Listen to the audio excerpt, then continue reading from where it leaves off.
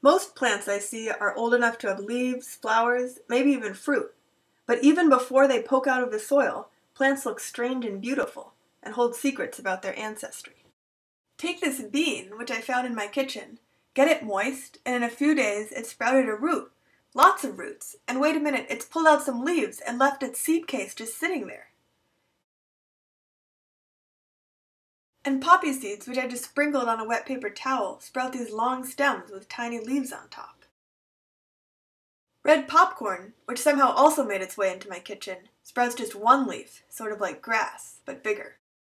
That sort of makes sense, though, because corn is a domesticated form of grass. Thousands of years ago, people living in what's now Central America bred their local grasses so they'd taste better and be easier to harvest. So at this point, I'm wondering what about other plants? And I set up lots of moist paper towels with different seeds in them. Can we find patterns about which seeds grow similarly and guess which ones are related to each other? Here's the first pattern I noticed. Cucumber seeds first extend a root, then pull almond-shaped leaves out of their seed casings. Pumpkin seeds are bigger, but they grow the same way, first poking out a root and then pulling out their leaves. Do you want to see that again? Here are the cucumbers. And here are the pumpkins. And I looked it up, and they are related. They're both members of the Cucurbitaceae family. That bean I grew also pulled its leaves out of its seed, but its seed and leaves look different from cucumber and pumpkin. Beans are in the legume family, but it turns out another member of the legume family grows quite differently. These circular lentil seeds don't get pulled out of their seed casings to form leaves.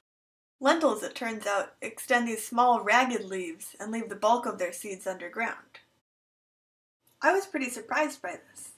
Somehow, even though beans and lentils are in the same family, they face different selective pressures and grow differently, even as seeds. I looked it up, and it turns out lentil seeds are called hypogeal, which means underground. Actually, the red popcorn is also hypogeal, even though the lentil sprouts with two leaves, a dicot, and the corn sprouts with one leaf, a monocot. So we can't just look at whether seeds are hypogeal or not to find out which ones are related. But let's look for more patterns. Look carefully at how these radish seeds grow. See the shape of their leaves and how they pull them out of their seed? It may not look that exciting, but now let's look at how these Brussels sprouts grow.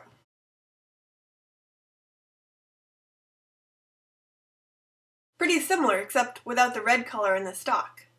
Let's look at kohlrabi. Oh, they all grow exactly the same way. These heart-shaped kohlrabi leaves look the same as these heart-shaped Brussels sprouts leaves, and these heart-shaped radish leaves with the reddish stems. Actually, these three plants are different domesticated varieties of the same genus, Brassica.